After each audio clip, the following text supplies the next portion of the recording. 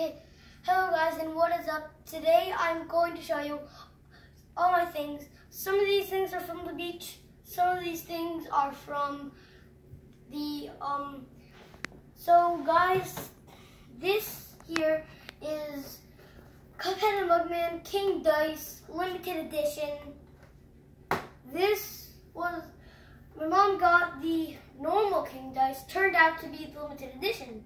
So this thing here was from Seaside Heights Arcade. I got Finn, got Finn from the first, first order, and then I traded, it was a chance claw machine, so I traded it in for Darth Vader.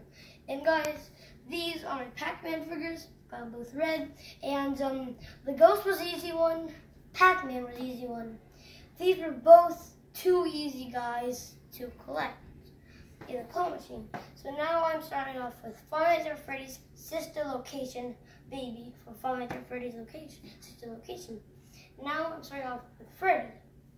Freddy Fazbear, Five Nights Freddy's.